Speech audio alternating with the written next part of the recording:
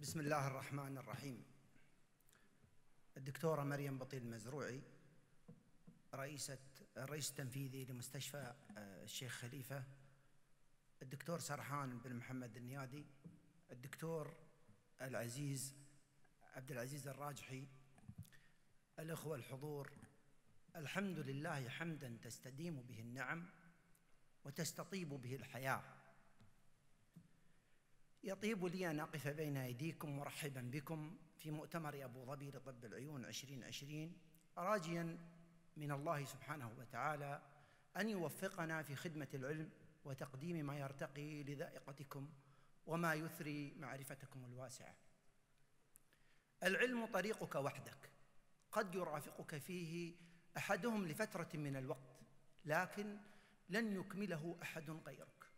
ثم إن التفوق فيه ليس قهرا لمنافسيك بل هو إنجاز يحفر في الذاكرة باسمك. فحي الله الوفود المشاركة أصحاب الهمم العالية والنفوس الشغوفة في طلب العلم في وطنها دولة الإمارات العربية المتحدة. حينما يحمل الإنسان قيما نبيلة راسخة في وجدانه لا بد أن ينعكس شيء من ذلك ايجابا على سلوكه. فالمبادئ بمثابة البوصلة التي تحدد وجهتنا وخياراتنا وقراراتنا.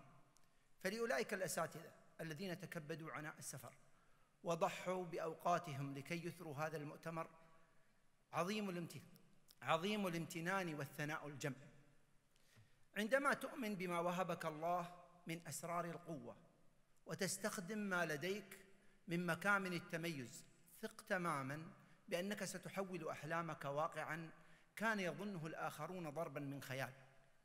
ولأننا موقنون بأن قوتنا في تعاوننا فقد تشرفنا بالتعاون في هذا العام مع أشقائنا في مستشفى الملك خالد التخصصي.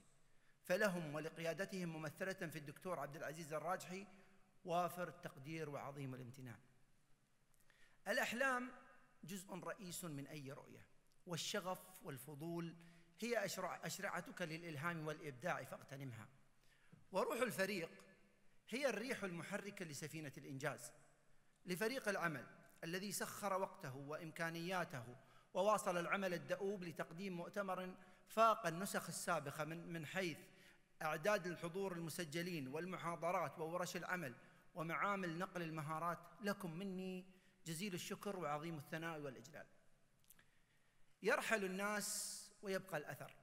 يرحلون ويبقى في داخلنا يبقون في داخلنا وبين جنبات نفوسنا.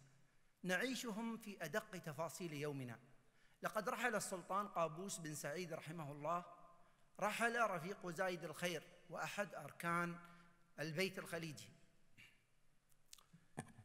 والعزاء ليس لأهل عمان فحسب بل لنا جميعا متمنين لإخواننا في سلطنة عمان دوام النجاح والتقدم والازدهار.